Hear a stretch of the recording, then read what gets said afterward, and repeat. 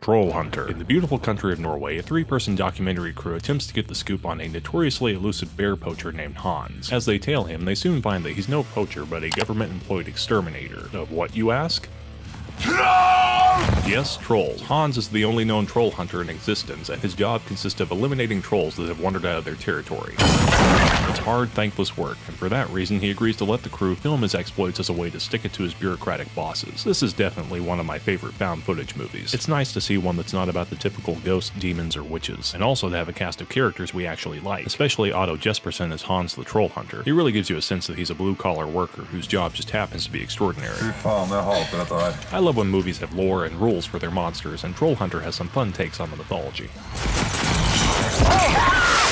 If you're tired of Blair witches and silly ass demons and just want to see a bearded badass dispatch fantasy creatures, go ahead and seek out Troll Hunter.